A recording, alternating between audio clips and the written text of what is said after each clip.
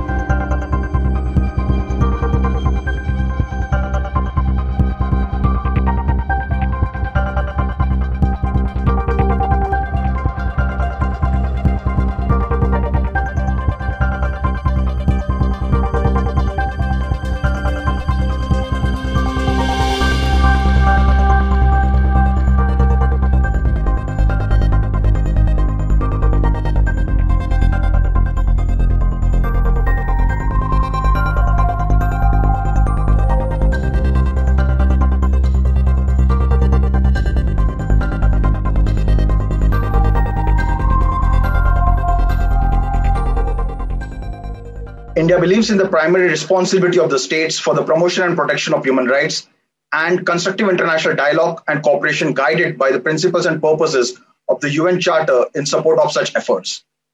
As an immediate neighbor, India has contributed to the relief, resettlement, rehabilitation, and reconstruction process in Sri Lanka after 2009. Our development assistance has focused on the restoration of livelihoods and economic revival, especially in Sri Lanka's northern and eastern provinces. Madam President, India's approach to the question of human rights in Sri Lanka is guided by two fundamental considerations. One is a support to the Tamils of Sri Lanka for equality, justice, dignity, and peace. The other is in ensuring the unity, stability, and territorial integrity of Sri Lanka.